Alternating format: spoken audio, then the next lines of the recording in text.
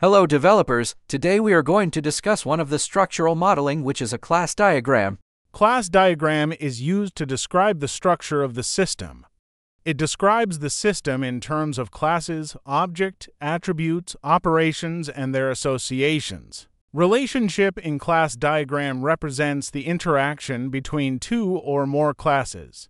Relationship between two class is called binary association, and if the relationship is between more than two classes, it is called n-ary association. The types of relationships are association, its simple structural connection, aggregation, its strong association between the whole larger and the part smaller classes. Composition, it is a special kinds of aggregation between the whole and the part classes. Dependency, the relationship between the dependent and the independent classes. Generalization, it is a kinds of parent-child relationships.